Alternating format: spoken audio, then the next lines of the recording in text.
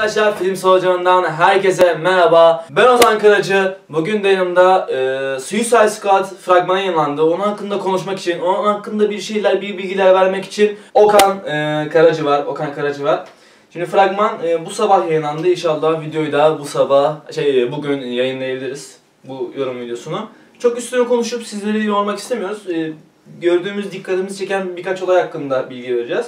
Şimdi sen e, fragman hakkında genel olarak ne düşünüyorsun? Önce onlara. Fragman, e, ilk fragmanda çok böyle bir şey yoktu hani. Sadece kesitler verdiler bize. Bu fragmanda bayağı doyurdular. Yani ilk fragman sadece böyle e, Jared Leto'nun e, Aynen. canlandırdığı Joker karakteri üzerinde gidiyordu. Göstermek gibiydi. Bu fragmanda herkesin üzerine düş- düşürmüş. Bir de bir nevi görevin ne oldu? Eğlenceli bir film oldu aynı zamanda. Zaten yani eğlenceli bir film olduğu üstüne baskı yapılmış sanki. Aynen ya. Çünkü ilk fragmanda biraz karanlık bir hava katacağı gösterilmişti. Bu filmde öyle bir şey yok. Hani bir team up'ın hem iyi hem kötü yanlarını yani kötü adamların yapacağı iyi şeylerin içinde bile eğlenebileceğini göstermeye çalışmışlar. Çok güzel olmuş bence fragman. Beğendim. Son zamanlarda izlediğim iyi fragmanlardan bir tanesiydi. Aynen. E, Deadpool, özellikle Deadpool fragmanından sonra. Ya onun kadar eğlenceli değil onun ama kadar eğlenceli değildi ama genelde şey vardı bu fragmanda. Hani bizde bu kadro var. Şey, ya, o kadroda bir de küçük nüanslar vardı. Mesela işte Kaptan Boomerang'ın orada karışıklığın içinde kola içmesi. Hani bir göreve giderken şeyin Margot Robbie'nin eee işte şu an karakter aklıma gelmedi. ben benim de aklıma gelmedi. Mağlup kaldık. Harley Quinn'in orada hani tam göreve giderken camı kırıp içerideki mücevherleri alması falan falan. Aynen zaten orada hani yani vurgu yaptığı, yani. vurgu yaptığı şey biz kötü adamız diyor. Zaten fragman temelinde şey vardı. Hani ilk fragmanda bize hani teaser aslında. Tam olarak fragman diyemiyorum ona. İlk fragmanda ilk görselde bize şey verdiler. Ee, Jared Leto Joker. Hani çok sağlam bir Joker izleyeceğiz bence. Bana göre Heath Ledger'dan, işte Anthony Hopkins'ten falan daha sağlam bir Joker olacak. Ee, ve ucundan Batman vardı. Yani Ben Affleck'i görmüştük. Arabanın üstünde. Bu e, sefer göremedik. bu sefer göremedik. Ya bence zaten hikaye e, normalde yayınlanan animasyonda da ne dediyse. Ee, Batman Assault on Arkham animasyonuna göre biz bir hikaye bekliyorduk. Öyle bir şey çıkmadı. Başka bir hikaye oldu. Yani normalde o hikayede bir nevi Joker düşman gibi bir şeydi yani. Üstü kapalı. Batman de çok yoğun içindeydi. Öyle bir hikaye yok belli ki. Alakası Başka yok. bir düşman hatta böyle bir uzayımsı, uzaylıyımsı bir düşman var. Yani ya bir bölge var. Hani böyle bölge 52 gibi. Hani aynen öyle bir bölge. Ya ben de şuna bağlıyorum. Hani zaman olarak acaba Dawn of Justice'e yakın bir zamanda mı olacak? Hani tam öyle General Zod'un geldiği falan uzaylı baskının olduğu zamanlara mı denk getirecekler acaba? Çünkü hani böyle problem var ki belli ki o bölge tamamen şey edilmiş, boşaltılmış bir bölge. Ama buraya kötü adamları gönderiyorlar. Ama diğer süper kahramanlar dışında onları gönderiyorlar. Demek ki daha büyük karışıklıklar da olabilir yani. Ben şeyi bekliyorum. Şu an aklıma geldi. Şu, e, yayından önce biz konuştuk da. Şu an aklıma geldi. Bence Dawn of Justice hikayesinden e, bir tık önce olabilir. Hani Zod'un ülke, yani e, dünyaya gelip yapım yapım yaptığı sırada hani dünyaya farklı bölgesine giriş yapan e, şeyler olabilir, varlıklar olabilir. Belki o süreçteki Suicide Squad'ı görebiliriz. Bir de şey var hani saf Suicide Squad gitmiyor. Bir ekiple beraber gidiyorlar. Yani kalabalık bir tim var orada. Ya o bir özel timin yanında onlara yardım edecek kötü adamlar gibi yapmışlar. Zaten Rick Flag o özel timin lideri. Evet. Zaten şeyde de e, fragmandan fark ettiysek o ekibi o kötü adamları o seçiyor. Rick Flag seçiyor yani. Hani bu iyi vurur diyor, bu yer diyor, bir ısırır diyor, şey yapar diyor. Öyle bir ekip seçmiş yani. e, fragmanın ilk böyle bir bir dakikalık kısmı tanıtımdı yani. Hani Aynen. kim ne yapar? Hani bu vurur, bu yer bu deli filan diye. Yani- Özellikle e, hani Margot Robbie'nin bekliyordu zaten güzel bir iş çıkarmasını. Fakat ben Jay Courtney, hani Kaptan Boomerang şöyle açıklayayım fragmanı izleyenlerde. Hani eğer biz siteden, e, siteden bu e, videoyu izleyecek olursa üst, e, üst tarafta fragmanı da vereceğiz. Fragmanı izleyenler anlamıştı böyle bağır bağır diye bağır. Bir de o kargaşa arasında kolayı içen adam. Fragmanın başında zaten hayır hayır bırakın beni bırakın beni diye bağıran Jay Courtney. Zaten ben Jay Courtney'i çok sevdiğim bir oyuncu. Yani bu yeni çıkacak John diyeyim. John'lerden bence başlıcalardan bir tanesi olacak. Ki iyi filmlerle de başlangıç yaptı. Bu filmde sonuçta hani iyi bir oyuncuysan süper kahraman filmlerine elbet giriyorsun. Artık yeniden. Aynen. Kaptan Boomerang aslında çok şaşalı bir karakter değil. Ama e, Suicide Squad'la beraber onun biraz daha derisini artıracaklar. Ben ileriki DC filmlerinde de çok kullanacaklarını düşünüyorum bu karakteri. Zaten Jay Courtney oynadığı için. Aynen. Bu Sağlam karakter-. Aynen. Benim zaten merak ettiğim karakterlerden bir tanesiydi. Bir Jay Courtney, bir de Killer Croc'tu. Çünkü Killer Croc hani ekrana yansıtması zor bir karakter olacaktı. İyi başarmışlar. E, Killer Croc'u canlandıran oyuncu da Adep, VC bir şey filan tam Ben hatırlamıyorum ismini. hatırlamıyorum. Önce Thor filminde oynamıştı. Thor'un ilk filminde oynamıştı. Bu Thor'un arkadaşlarından bir tanesiydi. Şimdi burada yer alıyor. Yüzü gözükmüyor ama hani Ben bir burada da tek, bir şey yapabileceğini Ee, düşünüyorum. stilizasyon olarak hani e, karakterin e, beyaz perdeye aktarılması olarak El Diablo'yu çok beğenmedim. Ben bilmiyorum çok şey. Elde bu zaten çizgi romanlarda da yani çok Suicide Squad'ın içinde olan bir canlı bir karakter değil El Diablo.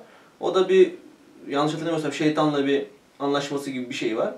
Ateş yani Human Torch olsun işte Firestorm olsun ateş bir adam. Ya bilmiyorum çok hani Birazdan Meksikalı Human Torch gibi düşünebiliriz. bence biraz daha böyle hani e, patlama görselleri falan deriz ya öyle düşünürüz ya. O görselliği arttırmak için hani Kullandılar kullandılar diyorum ben El Diablo Aynen. daha fazla. Bir de ben e, Will Smith'li Deadshot'ın çok şahane olacağını düşünüyorum. Ya o cool'lukla cool olmamak arasında kalmış bir karakter. Tam Will Smith'lik rol. Aynen direkt yani. Bence yani bazıları çok yorum okunuyor. Will Smith beceremeyecek falan bu işi diyorlar da ben Ben Will beceremediği film görmedim. aynen ben de görmedim. Onun için başarılı olacağını düşünüyorum.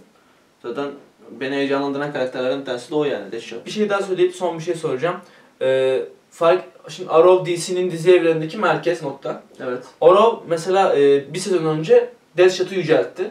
Ondan sonra da Boomerang yüceltti kötü karakter olarak. Şimdi, Şimdi filmde ikisi de patlama noktasında. Şimdi Arrow'da bir karakter yüce, daha yüceltmeden merkezi acaba Margot Robbie dışında.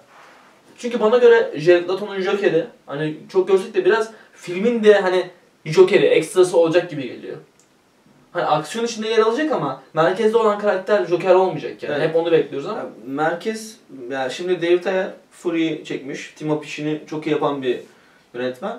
Yani merkez Deadshot ve Harley Quinn üzerinden dönecek büyük ihtimal. Zaten onların çizgi romanlarda da böyle bir cilveleşmeleri var, bir ilişkileri var. Onun ikilinin üzerinden dönecek. Yani Batman, Joker, işte diğer yan karakterler, Boomerang hariç bana göre. Ya, eklenti olacak. Ben Batman'in filmde çok az gözükeceğini düşünüyorum. Zaten fragmanlarını göstermemişler bilerek. Hani biz bu adamı burada göstermeyeceğiz diyorlar yani. Evet aynen. Belli etmişler. Benim merak ettiğim şeylerden bir tanesi de eee, şeyde listede IMDb'nin eee işte karakterlerde Johnny Frost var. Johnny Frost'u görmek isterim. Johnny Frost Joker'in yardımcısı yani Psiko Joker diye geçer. Göreceğiz büyük ihtimal. Ya ben Aynen, şey de yani- olabilir diye düşünüyorum. Ee, fragmanın başlarında hani seninle neler yapacağız gibi bir tanım Aynen. var. Aynen. Ya o, o, ama o kim artık bilmiyoruz. Bence o işkence sahnesinin başı da olabilir. Yani önce yayınlanan ki fragmanda hani Joker işkence diyor. başarıp aynen. Onun başı da olabilir orası. Bilmiyorum merak ediyorum. Yani filmde aslında karşımıza çıkacak çok sürprizler var. Yani hiç beklediğimiz anda çünkü görmediğimizde bir sürü karakter var yani. Aynen. E, isimler de geçen ama orada fragmanda görmediğimiz çok karakter var. Bakalım hepsini kullanacaklarını düşünüyorum ben. Ben de kullanacaklarını düşünüyorum. Ya bir nevi e, DC'nin Guardians of Galaxy olacak. Aynen. İşte yani Deadpool e, Deadpool'dan daha çok beklenen bir film olması gerekiyor bana göre Suicide Squad'ın. Hem kadro hem de hikaye açısından. Ama işte o kadar reklamı yok yani. O kadar reklam yok. Ee, DC şu an Dawn of Justice'e falan e, daha çok önem veriyor ama bomba fi- film gelecek diye düşünüyorum ben. Ben de öyle düşünüyorum. Hatta bu senenin hani Deadpool'u saymazsak diyorum.